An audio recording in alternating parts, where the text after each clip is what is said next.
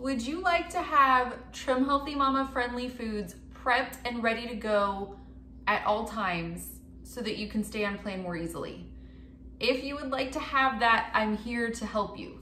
We have a prep ahead challenge starting tomorrow. Now, if you are like, wow, I haven't gotten anything ready yet, I didn't know about this, or somehow you missed the announcements, that's okay. You can still join in. I'm gonna show you how you can help. So first you'll go to the wellplannedkitchen.com and get your prep packet. I'll put the link in the description of this video. You can download and print your packet or just save it on your computer.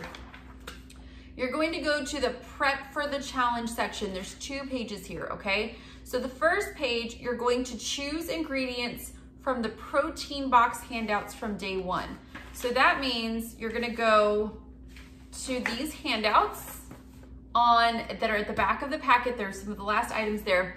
They walk you through step by step how to put together bento boxes for THM or THM friendly bento boxes. Now, these have been an absolute lifesaver for me. What I do is I take a little bento box. If you don't have those boxes that have the different compartments, they sell them at Kroger, they sell them at Target. On Amazon, I have a bunch of my favorites posted at thewellplannedkitchen.com slash Amazon. But if you don't have those boxes, just put them in baggies, put them in Tupperware containers, whatever works for you, it's totally okay. You don't need a lot to make this work. But think charcuterie board in a box. I do good salami, nice, good cheese, nuts, some of my favorite things, a handful of Lily's chocolate chips, some berries, some sliced cucumbers. I mean, I have some videos I've posted of how to put those boxes together, but you're just gonna pick which things you like from either the S-friendly, FP-friendly, or E-friendly pages. You're just gonna work one page at a time. So like this low fat is the E-friendly page don't combine and mix and match from this page and this page because then you'll end up with a crossover. So follow one page at a time. Let's say you wanna make e-boxes, you choose this sheet. You just pick, you may already have a lot of the ingredients that you need to put your boxes together. So you'll just go through these boxes and choose which ones you want. That's the first step for the challenge. For the second step, you're gonna choose a THM soup or salad recipe. So my recommendations are trim train Italian soup on page 160 of Trim Healthy Table or salad in a jar, page 188 from the THM cookbook. You don't have to do those. You can pick any soup, any salad. If you're just jumping in, you could pick a soup or salad that you happen to have ingredients for in your house already. That's totally fine.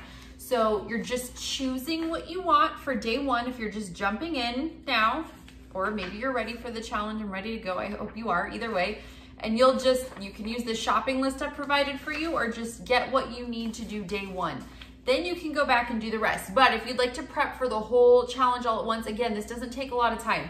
You'll just go through, it says choose a shake for day two, and I have a recommendation for a shake. You're just gonna choose any shake you want. Um, you're gonna choose a snack for day two, and I have some recommendations there. Let's say you're like, Jen, I don't have any time to prep. That's okay too, because on each prep worksheet, I give you a list of things you can just buy already prepped from the store to save you some time and energy and get some things stocked that you can grab and go for THM to help you stay on plan. Listen, I understand finding time to prep can sound like a huge thing, but I do all of my food prep in just a few minutes a day. Sometimes if I have a little extra time, I'll do something extra special, but most of the time I just spend a couple of minutes a day and it totally works.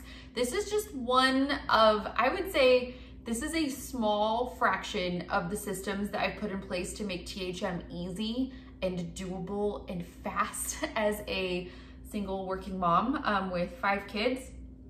But the way that I do this, the way we're doing this challenge is just really a taste of one of the systems that you can put in place to make THM easy. This is actually, this five day stretch is a little bit more intense even than what we do in um, my boot camp where I teach you the full system to be able to get on plan and stay on plan without spending hours in the kitchen. So if you're busy or tired or you feel like THM's a lot of work, boot camp is definitely something you should check out and you can see what that's about and read the five-star reviews at thewellplannedkitchen.com slash THM bootcamp. But for this challenge, if you're joining us for this challenge, this might feel like, okay, you're not used to it. So for five days, we're doing a couple of things each day. That's just because you're not really perhaps in a system. So this might feel like five days of a little more concentration, a little more effort, a little more work, but it's definitely doable and it's definitely something that over the next five days will get you prepared for the next couple of weeks at least, if not a lot longer. Through this challenge, we're going to be making we're gonna be making the protein boxes where I can do four or five lunches in five minutes or less. That's pretty handy. We're gonna be making a THM super salad that you can have multiple servings of and eat throughout the week. We're going to be making shakes. Um, we're going to be making a snack. So my go-to is the Ultimate E-Bars from Trim Healthy Table that's on page 432, but I have lists here for you to choose from. And we're going to be making all these things. Um, we're gonna be making, what else? A protein. We're gonna be, and I gave you an instruction page for prepping a protein.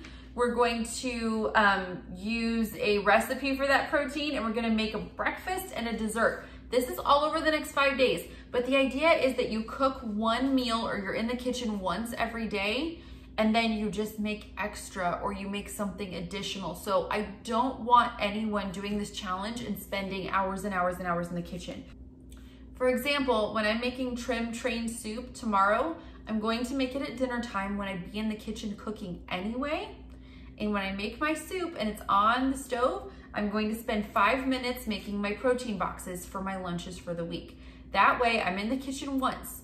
I'm not dirtying dishes over and over again. I'm just doing it one time. So that's what we're working on this week. We have this five day challenge starting tomorrow. I'd love for you to join me. We're doing just one day at a time, a few simple tasks every day. I would encourage you to not schedule a big prep session. Just go in the kitchen when you're already going to be in the kitchen doing something else and make one of the things that we've chosen for the prep challenge. Just do it at the same time and save some energy and some time in the kitchen and do all your dishes at one time at the end of it and get it over with. You can download your printable packet and jump right in. If you're watching this after the challenge started, it's totally okay to just start where you are or do this on your own or follow along with the videos and do it over again. I love simple prep ideas because it saves a lot of time in the future. And I think future Jen thanks me for doing the prep when I can. But again, none of us have time to spend hours in the kitchen, so we're just doing a little bit at a time while we're already in the kitchen doing something else and we're getting fully prepared to stay on plan for a long time. So I hope you'll join me tomorrow. I will see you here.